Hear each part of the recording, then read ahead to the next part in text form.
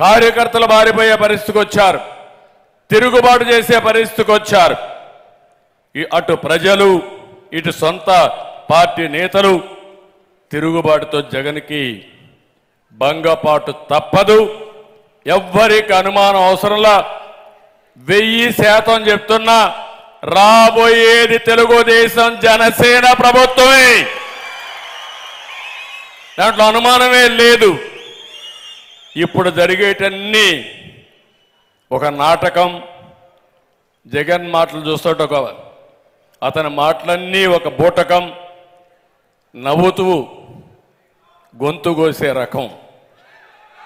మీరు అవన్నీ మీరు చూస్తే చాలా బాధేస్తుంది.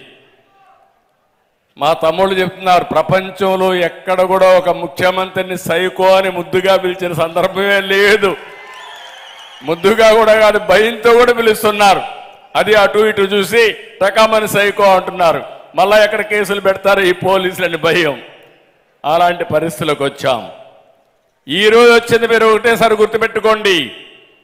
ఇది ప్రారంభం మాత్రం. ఎన్నికల నోటిఫికేషన్ వస్తానే ఉద్ధృతమైన తిరుగుబాటు వస్తుంది. వైఎస్ఆర్ కాంగ్రెస్ నాయకుడనే వాడు రోడ్డు మీద తిరగాలన్నా భయపడే రోజు తొందరలోనే వస్తుంది.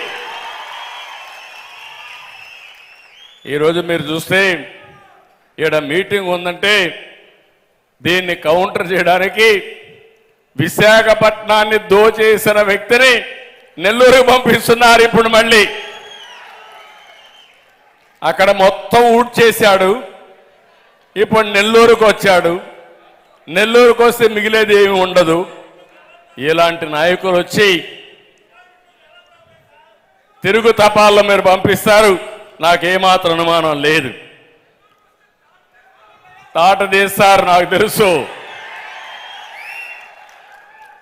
ఐదేళ్ళుగా అడ్డంగా దోచేసి ఈరోజు మీరు చూస్తే ఏమి చేయాలో దిక్కు తెలియడం లేదు.